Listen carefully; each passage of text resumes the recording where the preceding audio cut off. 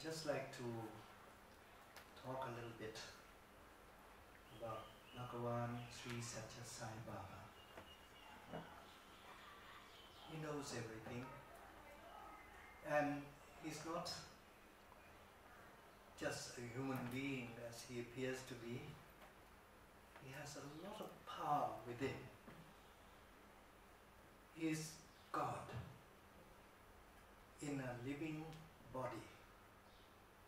So that is very important, something that we need to understand. You know, once he called me to go inside, and he also invited all the major scientists. There were four scientists of India, top scientists. So we were invited into his room. And then he started to materialize objects for everyone. So he waved his hand and he took out something from the air and gave various objects to the four scientists. And he looked at all of us. The scientists looked a little bit puzzled because that's the first time that he, they were called to meet Bhagavan Sri Sathya Sai Baba. So Swami smiled at everyone and said, Well, this is normal thing which I do for everybody. I materialize things, give it to everybody. But for you, scientists, you need to understand further. And he said, this is quite a normal thing which I do every day, materializing things for everybody. But this is something I want to show you, being scientist. He waved his hand, and then he put his hand together. And then he started to raise one hand, and everybody was shocked because in the middle there was a monkey, a living monkey. And as he raised his hand, the monkey grew in size, became bigger and bigger and bigger and bigger until it was full size. Then he let go of the monkey. The monkey was jumping around in the room. Well, I never seen this from Swami. I've seen him materializing objects, but materializing a living thing. And was able to grow from a little monkey to big monkey, full-size monkey. This is something which is really fantastic. Scientists were so puzzled and the monkey was jumping around in the room. So Swami said to the scientists, have you seen this? And they all said, no, no, this is something which is impossible for all of us. We've never seen this before. So Swami said, all right, who would like to have this monkey? I'll give it to you. All the scientists said, no, no, I, we don't need a monkey. So he looked at me. He said, how about you? You want a monkey? He asked me. So I said, Swami, I don't know what to do with a monkey. uh, so Swami was laughing and smiling. Then he told me, go and get the monkey. Yeah. So I went and caught the monkey and gave it to Swami. Swami put it, put the monkey on his hand, and the other hand was on the head of the monkey. And gradually he put his hands together, and then the monkey disappeared. Now that was something that we have never seen before. It's really amazing we've seen him materializing objects, and many people think that he's playing a trick. But this is cannot be a trick. It's something that we all observe, and it's all observed by the scientists. All the scientists, all the scientists, they said, I don't understand it. How is this possible to create a living thing and let it grow in the hand and it was jumping around? So everybody was so puzzled. Swami was smiling and he showed the scientists that he is the creator of all things. Something different from what he has shown other people by materializing objects. So all the great scientists of India, four of them, plus myself, we were all very happy to have seen such a thing and we all firmly believe that Swami is God. So this is very rare opportunity.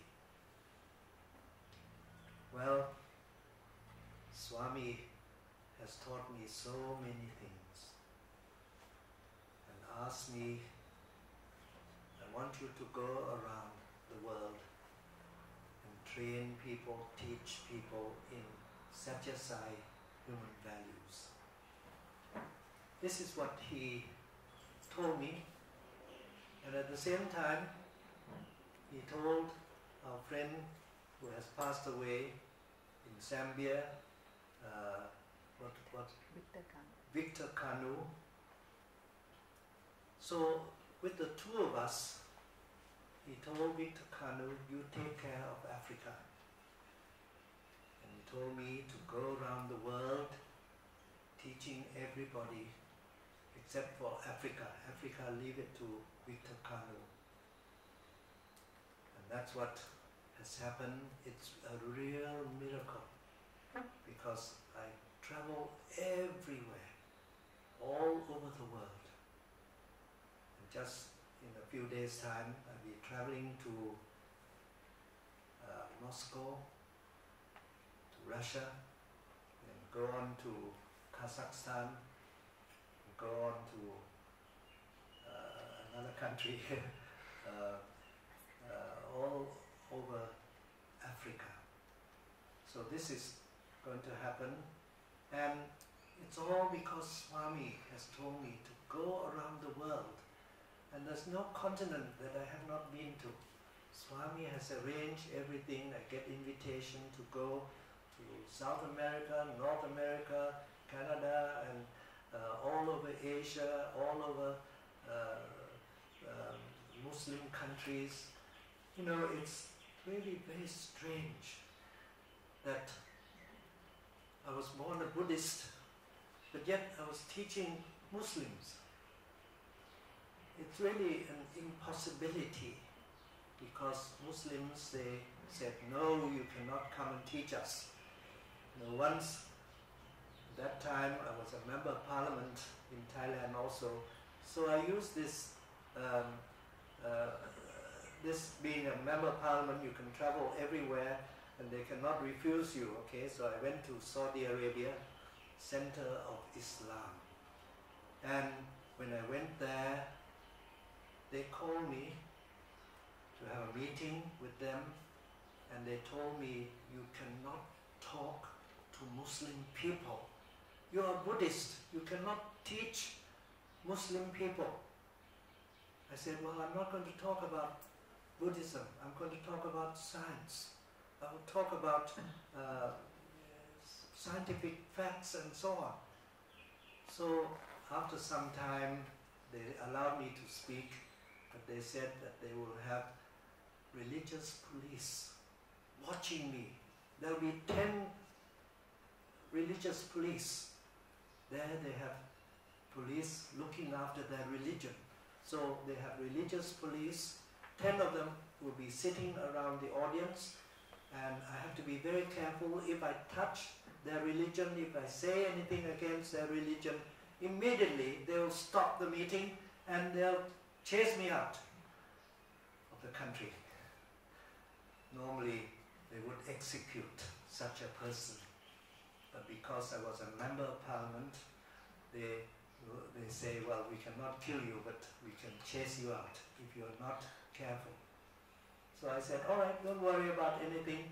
So I gave three hours lecture and the police, uh, the religious police were watching and trying to catch me, but they did not stop me, they did not catch me. I spoke for three hours and everybody was so happy. In fact, the uh, Muslims who were there listening, they were crying, tears in their eyes, okay, because they never heard anything like this before. It's all Swami's teaching, but of course we do not touch on any religion.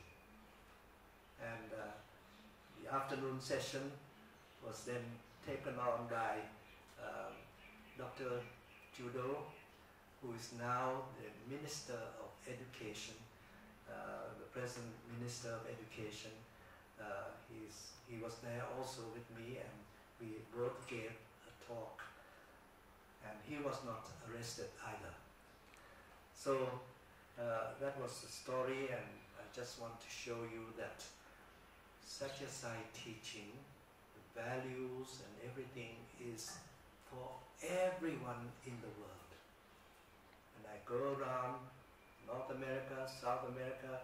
At first, United States also have a problem. They said, no, you cannot talk about other religions. You cannot talk about religion at all. I said, no, I'm going to talk about science. So they allowed me to speak all over the United States as well. So I just want to mention this to all of you so that you understand that Swami's teaching is for the whole world. It's not any particular religion, not particular group of people, but everyone, everyone must know about Sathya Sai teaching.